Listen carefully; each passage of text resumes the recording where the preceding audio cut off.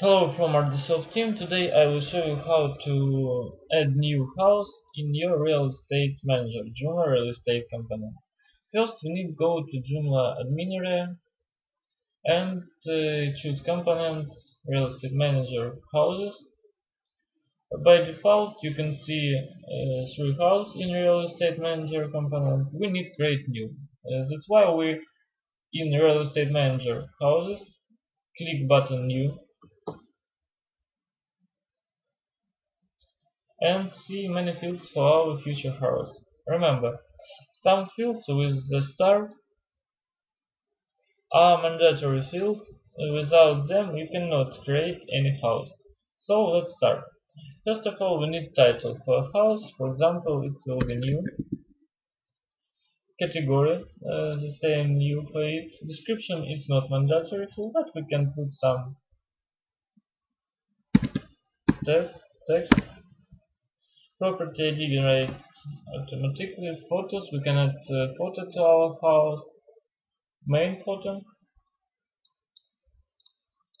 And if you want you can uh, add uh, more photos to your gallery.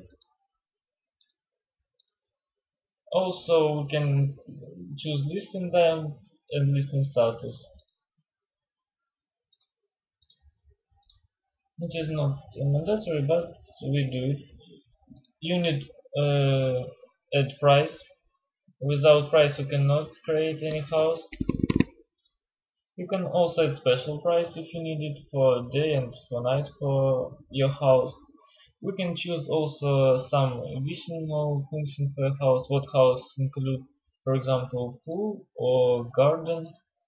Uh, also you need location for a house. Choose uh, it on map. And in address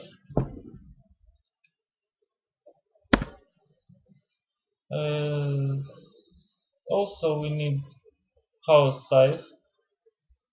It's also the field without it we cannot create our house like rooms bedrooms and built year we put information in it. For example rooms 4 bedroom 3 uh, built year and uh, so other information like agent info are not mandatory and uh, you can use it if you need. Uh, we click save and close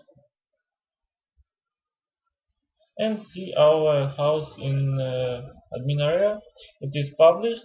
That's why we go to the intent of our website and check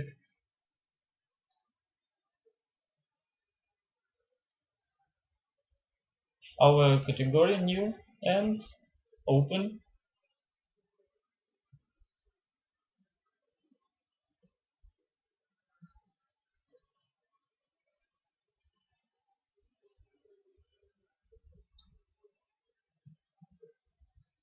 And we see our house with all information title rooms bedrooms built year price which we have added uh, before that's all see you next time